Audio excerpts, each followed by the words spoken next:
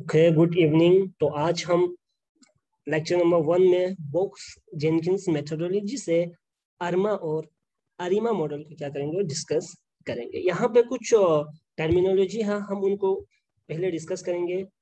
A R and M and A R I M A what is AR and what is is A R and then I what is is I? Then what is MA? अब देखो AR represent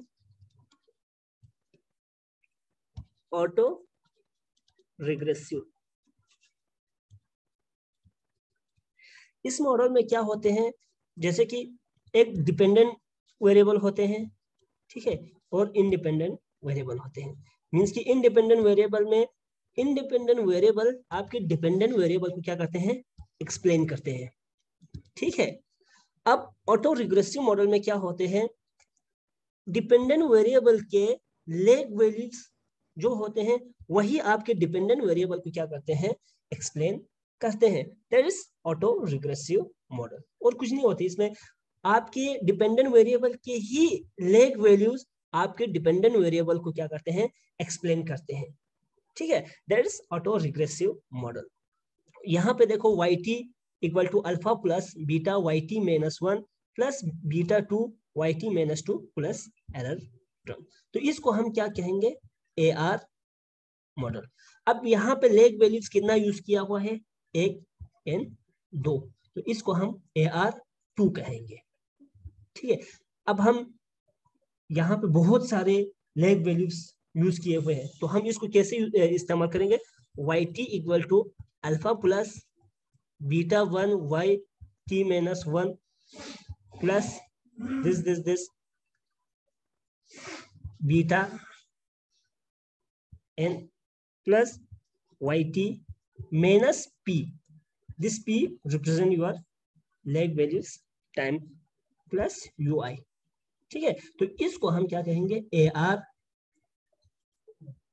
P auto regressive model कहेंगे। ठीक है?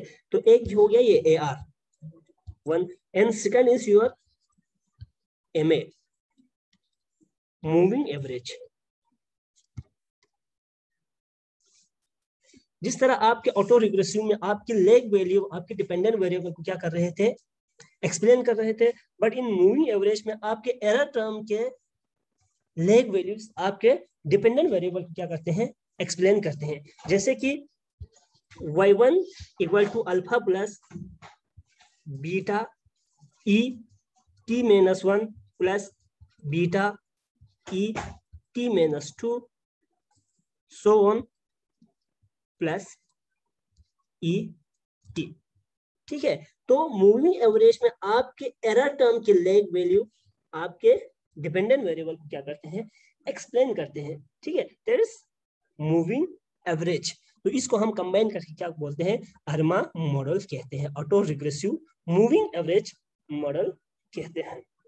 ठीक है? तो यहाँ पे अल्फ़ा जो होते हैं, आपके डिपेंडेंट के मीन होते हैं। ठीक है? अब देखो आर्मा में, एम में सॉरी मूविंग एवरेज में दो टाइप होते हैं। मूविंग एवरेज के। One is rolling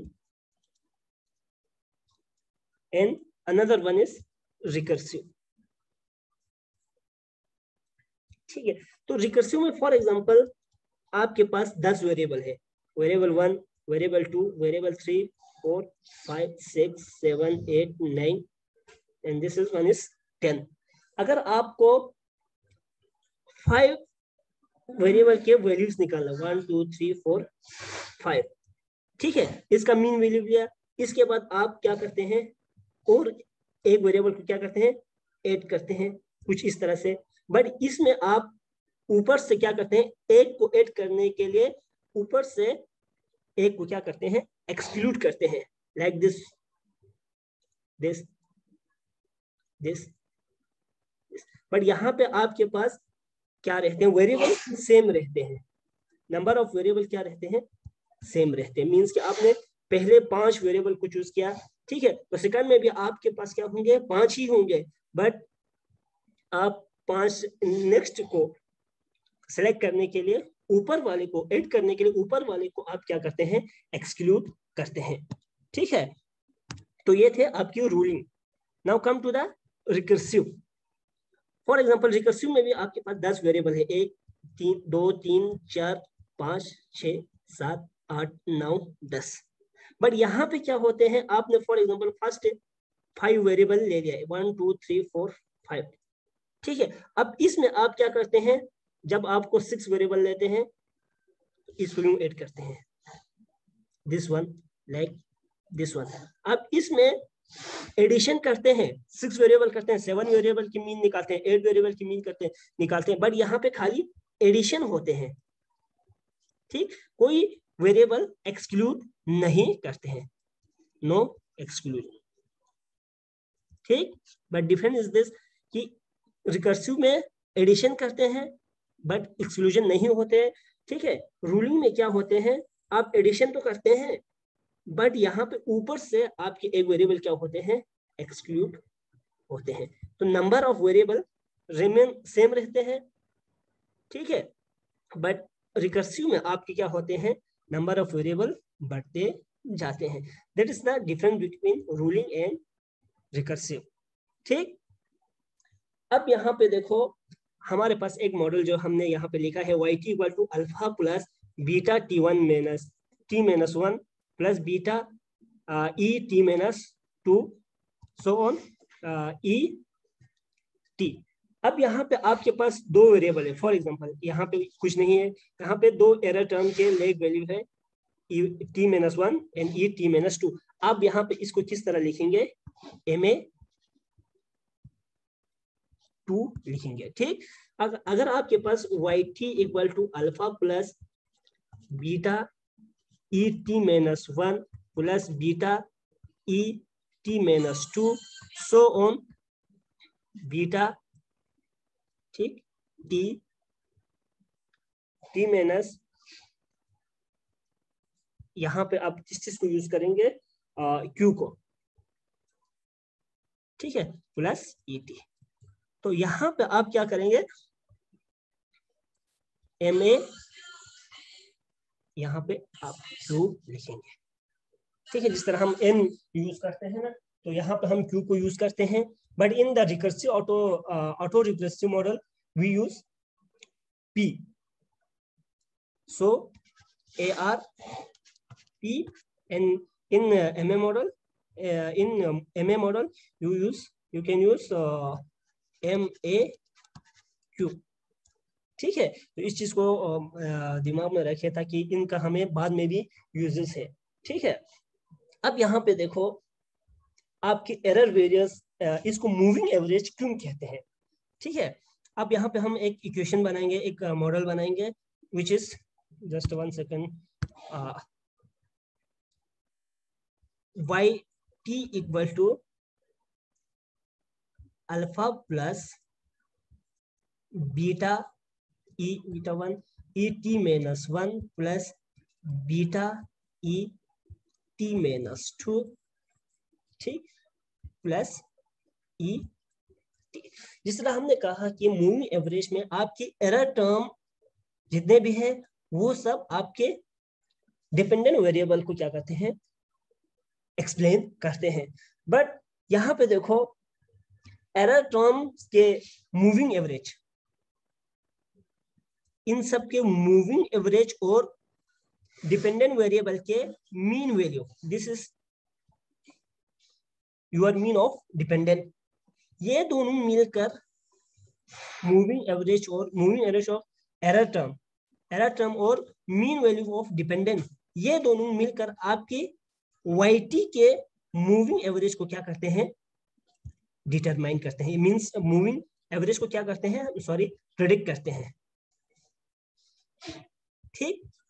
समझ में आ गया कि एरर अब ये देखो दिस इज़ एरर टर्म के मूविंग एवरेज डिपेंडेंट वेरिएबल के मीन से मिलके आपकी इस y को, y का मूविंग एवरेज क्या करते हैं? प्रिडिक्ट करते हैं। That's why we call this is a moving average मैं इसको दोबारा रिपीट कर रहा हूँ। आपके एरर टर्म के मूविंग एवरेज और आपके डिपेंडेंट के मीन ठीक है? इन दो इन दो मिलकर आपके वाई टी जो आपके डिपेंडेंट है, ठीक है? इसके एवरेज को क्या करते हैं? मूविंग एवरेज को क्या करते हैं? प्रेडिक्ट करते हैं। ठीक है? That's why we call it is moving average शायद आपको समझ में आ गया होगा ठीक है तो इसके बाद we move to assumption of ARMA model. Assumption. Just one second. Of ARMA पे हम अरीमा मॉडल को भी समझेंगे what is ARIMA model and how it is different from ARMA model तो पहला एजम्पन है जस्ट वन सेकेंड तो पहला जमशन है वेरिएबल मस्ट बी स्टेशनरी ठीक? This is your A ARMA and this is your ARIMA auto regressive integrated moving average अगर आपके variable क्या है? स्टेशनरी है, तब आप क्या यूज़ करेंगे? अर्मा मॉडल को यूज़ करेंगे। ठीक? अगर आपके वेरिएबल नॉन स्टेशनरी है, ठीक? उस टाइम पे आप किस चीज़ को यूज़ करेंगे? अरिमा मॉडल को यूज़ करेंगे। ठीक? तो ए आर हम किस से रिप्रेजेंट करते हैं? पी से रिप्रेजेंट करते हैं एन एम ए को किस किस से रिप्रेजेंट करते हैं? क्यू से रिप्रेजेंट करते हैं। तो हम पी एन क्यू को यहाँ पे यूज़ करते हैं। ठीक? तो अरीमा मॉडल इसका अजम्पन है वेरिएबल मस्ट बी स्टेशनरी तो जब वेरिएबल स्टेशनरी होंगे, तब हम अरमा मॉडल यूज़ करेंगे। तो अरिमा मॉडल कब यूज़ करेंगे? जब हमारे मॉडल में वेरिएबल नॉन स्टेशनरी होंगे, तब हम किस चीज़ को यूज़ करेंगे? अरिमा मॉडल को यूज़ करेंगे। अब यहाँ पे देखो ए आर रिप्रेजेंट पी जब हम नंबर ऑफ़ इंडिपेंड जो डिपेंडेंट वेरिएबल के लेग्स को जब हम मतलब बहुत सारे होंगे, तब हम पी से इस चीज़ को क्या करते हैं? रिप्रेजेंट करते हैं। Then this is I means की इंटीग्रेटेड ठीक? अगर आपके वेरिएबल स्टेशनरी नहीं है तो आपको क्या करना पड़ नॉन स्टेशनरी है तो आपको क्या करना पड़ेगा? स्टेशनरी स्टेशनरी लाना पड़ेगा इनमें। ठीक है वेरिएबल में। तो इसके लिए आप क्या करते हैं? इंटीग्रेटेड को यूज़ करते हैं कि इसमें फ़र्स्ट ऑर्डर पे, पहले आप लेवल पे चेक करते हैं, फिर इसके बाद फ़र्स्ट ऑर्डर पे, फ़र्स्ट ऑर्डर डिफरेंस पे चेक करते हैं। तब भी नहीं आया तो आप सेकंड ऑर्डर डिफरेंस पे चेक करते हैं। ठीक है? तब भी नहीं आया, आप थर्ड पे चेक करते हैं ऑन सो ऑन ठीक है? तो इस, इसको क्या कहते हैं? इंटीग्रेटेड कहते हैं। ए आर सो यहाँ पे आई को किससे रिप्रेजेंट करते हैं। डी से रिप्रेजेंट करते हैं and M A represent the Q ठीक। अगर आपके, यहाँ पे मैं एक चीज़ बताना चाहता हूँ। अगर आपके वेरिएबल नॉन स्टेशनरी है at that time you have to go for first order अगर फ़र्स्ट ऑर्डर से नहीं आया then you have to go for second order and third अगर सेकंड से भी नहीं आया then you have to go for third order to get the stationary what? To get the stationary invariable. Always remember, this is stationary should be in variable. तो अक्सर आपको non stationery कहाँ पे मिलते हैं? जब आप इकोनॉमिक्स फाइनेंस हो, कोई और दूसरा हो खासकर इकोनॉमिक्स फाइनेंस में आपको वेरिएबल हमेशा क्या मिलते हैं? मीन मैक्सिमम टाइम्स आपको वेरिएबल नॉन नॉन स्टेशनरी मिलते हैं। So at that time you should follow ARIMA model if you are variable are stationary then you have to use ARMA model so ये थे basic difference between the ARMA model and ARIMA model. शायद आपको समझ में आया होगा कि ARIMA model क्या होते हैं ARMA मॉडल क्या होते हैं। तो हम एक बार इसको फिर से डिस्कस करेंगे। कि ARMA model auto regressive A R represent auto regressive जहाँ पे आपके डिपेंडेंट वेरिएबल के लेग्स ही लेग्स वैल्यू ही आपके डिपेंडेंट वेरिएबल को क्या करते हैं एक्सप्लेन करते हैं। एंड मूविंग एवरेज में आपके डिपेंडेंट वेरिएबल आपके एरर टर्म के लेग्स वैल्यूज़ क्या करते हैं? एक्सप्लेन करते हैं, ठीक है? तो इसमें दो टाइप के होते हैं, एक रूलिंग होते हैं, एक रिकर्सिव होते हैं। तो रूलिंग में क्या होते हैं? यहाँ पे variable same means means constant रहते हैं सॉरी कंस्टेंट रहते हैं। नंबर ऑफ़ वेरिएबल क्या रहते हैं? कंस्टेंट रहते हैं। बट आप क्या करते हैं? दूसरा वेरिएबल को चूज़ करने के लिए आप फ़र्स्ट को क्या करना पड़ते हैं? एक्सक्लूड करना पड़ते हैं। बट इन रिकर्सिव खाली यहाँ पे एडिशन होते जाते हैं। ठीक? अब सिक्स वेरिएबल के और सेवन और एट इसी तरह इनकी मीन निकालते हैं। ठीक है? तो ये हो गया। अब assumption of ARMA model is variable must be stationary if your model is stationary, then you can use arma model. If your variable is non stationary तो आप किस चीज़ को यूज़ कर सकते हैं? अरिमा मॉडल को यूज़ कर सकते हैं, ठीक है? तो अब यहाँ पे what is P and what is Q we already discuss it ठीक है? And what is D here so this represent the integrated difference first difference या सेकंड डिफरेंस पे स्टेशनरी है या थर्ड डिफरेंस पे स्टेशनरी है, उस चीज़ को क्या करते हैं? रिप्रेजेंट करते हैं। तो आपको अपने मॉडल को स्टेशनरी लाने के लिए क्या करना पड़ता है? आपके इंटीग्रेशन को यूज़ करना पड़ते हैं कि इंटीग्रे फ़र्स्ट ऑर्डर डिफरेंस को या second order difference third order difference किस चीज़ के लिए? To get the stationary in your variable so ये आज के लेक्चर थे लेक्चर थे जो कि बुक्स जेनकिंस मेथोडोलॉजी से हमने आर्मा एंड अरिमा मॉडल को क्या किया?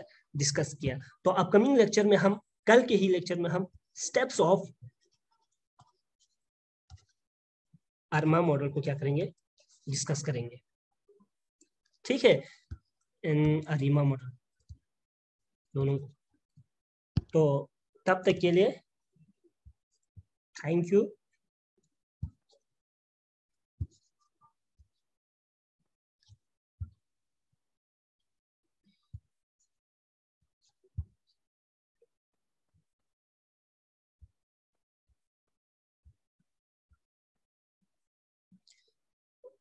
ये सब है मेरे नोट्स जो कि मैं कुछ लेक्चर बनाते समय लिखता हूँ तो और साथ में इसको यहाँ पे सेव भी करता हूँ। तो अगर किसी को इन सब में से कुछ समझना है तो आप मेरे प्रीवियस लेक्चर को डिस्कस कर सकते हैं, जहाँ पे हम बेसिक इकोनॉमेट्रिक्स को डिस्कस कर रहे हैं। इसके बिल्कुल मीनिंग से लेकर इसके ऑब्जेक्टिव्स क्या है, और इसके इसके अंदर डिफरेंट स्टेप्स क्या है, और डाटा कलेक्शन करते हैं तो डाटा कलेक्शन की जिस तरह डिफरेंट एस्पेक्ट के बेसिस पे हम क्या करते हैं? डाटा कलेक्ट करते हैं। तो यहाँ पे हम टाइम एंड इंटेटिस के एस्पेक्ट से बात कर रहे हैं। ठीक है? तो यहाँ पे कभी हम क्या करते हैं? उसकी कलेक्शन के एस्पेक्ट से बात करते हैं, जिसे हम प्राइमरी सेकेंडरी कहते हैं। ठीक? कभी कभी हम उसके नेचर के बेसिस पे डाटा कलेक्ट करते हैं, जैसे कि क्वालिटेटिव डाटा और क्वांटिटेटिव डाटा इसी तरह हम इसके बाद meaning and assumption of classical linear regression model को डिस्कस करते हैं। रिग्रेशन क्या होते हैं? और इसके मीनिंग डिटेल में डिस्कस करते हैं। ठीक है? और इसके assumption of classical linear regression model क्या होते हैं? ठीक है? तो उनके वन बाय इसके बाद इसके प्रॉपर्टीज़ जिसे हम ब्लू कहते हैं बेस्ट लीनर अनबेस्ट ठीक है? एफिशिएंसी uh, तो उसको हम अपकमिंग uh, लेक्चर में डिस्कस करेंगे। तो यहाँ पे जो सब कुछ लिखा है अगर आपको समझ में नहीं आया तो आप मेरे प्रीवियस लेक्चर को क्या कर सकते हैं? वॉच कर सकते हैं। तब तक के लिए थैंक यू वेरी मच